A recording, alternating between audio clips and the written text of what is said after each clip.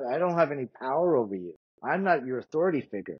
And the word authority has the word author, right?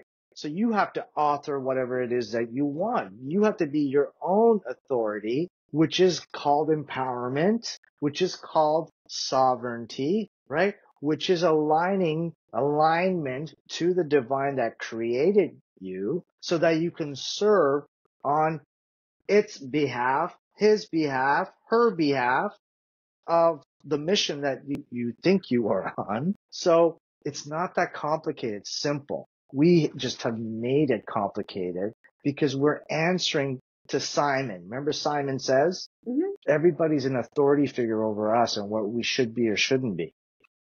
Whether it's um, a president, whether it's a celebrity like Kardashian, whatever it may be, whatever you, whatever station you're on, but maybe you have to really look to see if the station you're on is really you Mhm. to your, for your highest potential.